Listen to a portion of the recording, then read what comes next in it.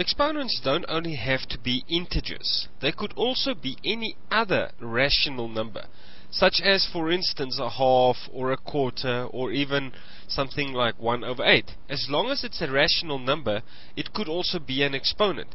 And then we refer to these type of expressions as rational exponents. Now the laws of exponents will still hold for rational exponents such as for instance if you have a half uh, a to the power of a half times by a to the power of a half you'd still simply add the exponents. A half plus a half gives you a to the power of 1 if you have y to the power of a half divided by y to the power of a quarter you would subtract the exponents. Like normal half minus a quarter will give you y to the power of a quarter. Simple second uh, exponential law. And the third exponential law, where you have x to the power of 3 over 4 inside the bracket to the power of 2 over 3 outside the bracket.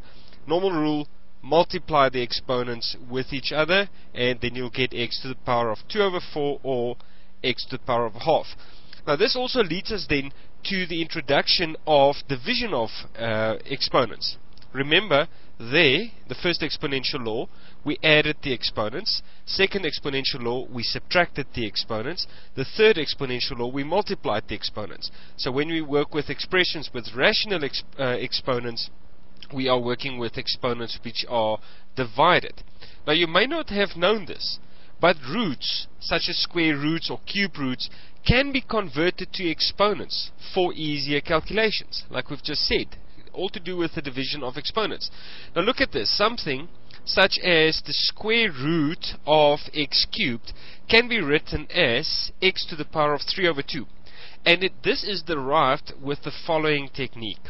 A square root always has a 2 outside the root sign, as you can see there. We don't always write the 2, but a square root still has a 2 there.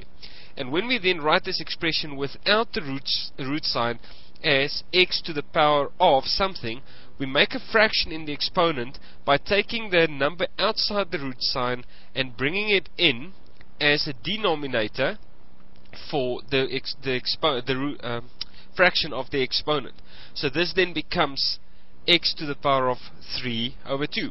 That 2 from outside simply came in as a denominator. So the mathematical rule for this whole technique is x to the power of 1 over n. In other words, when you have exponents being divided, that n, the denominator, just simply goes outside the root sign and you'll have the nth root of x. And just remember x, that number inside the root, has to be bigger than 0. Your number outside the root sign needs to be bigger than 2 very important. You can only take square root and up, cube root, fourth root, and so forth. You don't have anything smaller than 2. 4 roots and then obviously this has to be a natural number. It has to be a positive natural number, that whatever that is outside the root sign. But sticking within those those constraints is a simple rule to remember. You, you take the denominator outside as a root number, or you bring it inside as the denominator of an exponent. Now, just an interesting fact. No exponent can ever convert a positive number into a negative number it can only make the number bigger or smaller. So remember, it doesn't matter how small or how big or how positive or how negative your exponent is, it can never change the sign of the number that you were working with. So say for instance we take 4 to the power of something.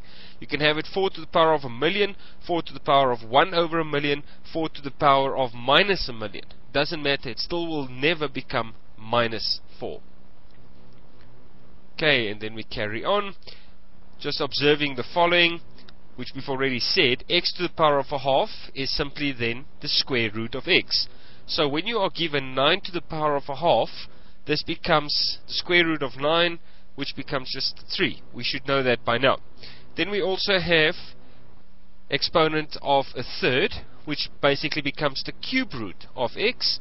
So 8 to the power of a third becomes the cube root of 8, becomes the cube root of 2 to the power of 3.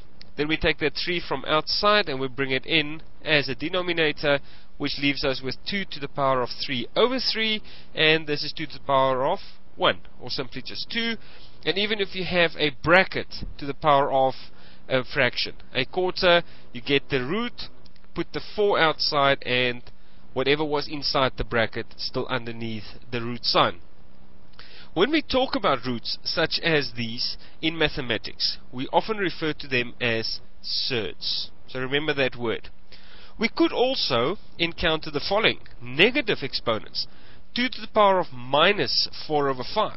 Now this would simply be take that 5 to the outside of the root sign whatever is inside is 2 to the power of minus 4 and we know from previous experience that a negative exponent becomes a fraction in its own right. So it's 1 over 2 to the power of 4 and we are finding the fifth root of this fraction. So the mathematical rule for this now when we are working with a negative exponent and it's a rational exponent as well then it becomes that and it ultimately leads to that. The nth root, whatever was there below the line originally, of 1 over m, and then again m just needs to be bigger than 0, n needs to be bigger than 0, and it needs to be a natural number, which means it should also be bigger than 2, as we can remember from previous experience.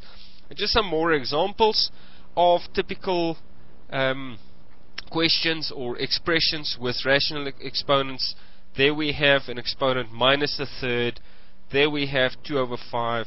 There we have 2 over 3. 2 over 3, 3 over 4, 3 over 4. Just showing you how all of them basically become normal expressions. For instance, that one has x to the power of 3 over 4. This one has 2 to the power of 3 over 4. And now ultimately it becomes a number. Same with that uh, first one. We had x to the power of 2 over 3 leading to an expression containing x, or 2 to the power of 2 over 3 leading to an expression containing a number. And then the last two terms are just the other way around. Now we are given the root with a number outside, write it as an expression with a uh, fraction in the exponent, same with that one. Sixth root of 3 to the power of 5 becomes 3 to the power of 5 over 6. Old rule that we've talked about, take that number outside in as a denominator in the exponent or the fraction in the exponent. So now we can expand this rule that we've just had before. Remember we had the rule firstly there where we said if we have uh, the fraction in the exponent it becomes a root then we expanded it a little bit more to cater for negative fractions um, in the exponents as well and now we just use no numbers such as 1 over or something like that. We have 2 uh, uh, we have p sorry and q catering for all possible integers. That's what the z stands for. All possible integers so the p and the q the numerator and the denominator of the fraction in the exponent could be any positive or negative integer. No fractions in, the, in their own right but together they will make a fraction. But each one of them needs to be an integer but it could be positive or negative and then it's a simple fact.